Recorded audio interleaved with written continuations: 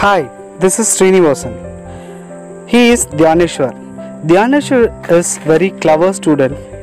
Dhiyaneshwar is a positive thinking student. He works timely and very self-motivated student. He is very clever in studies, outstanding student and a performer.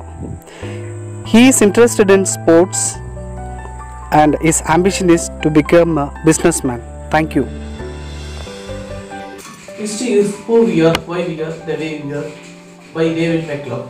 A very warm welcome to our Virutcham TV viewers. This is R.K. Dhiyaneshwar from grade 11 from Virutcham International Public School, CBSE, Chennai. Presenting the content for our Kaalachuvadhugal historical event of this day. Today is October 1st, the first day of the fourth quarter of the year. History is the study of past. History is an umbrella term which relates to the past event as well as memory, discovery, collection, organization, presentation, interpretation of information of the past event. Let us move to the today's historical events.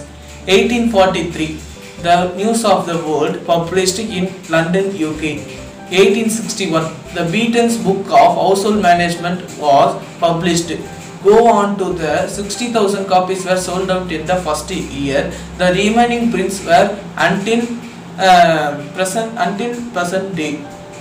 1891 The Stanford University opens the door on California, United States. 1898 The Vienna University of Economics and Business Administration was founded under the name of KUK Export Academic. 1928 The Soviet Union introduced the first five-year plan. 1953 Andhra state is formed co- consisted for the Telugu speaking areas and it carved from the India's Madras state.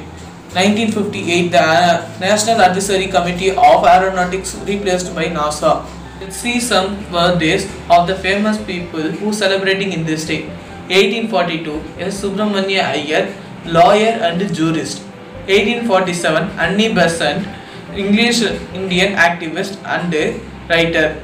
With this, it's Dhiyaneshwar signing for this day with a kind note. Keep watching the Odugal and this Wisdom TV. Be safe and stay home with tuned with the Wisdom TV. Thank you.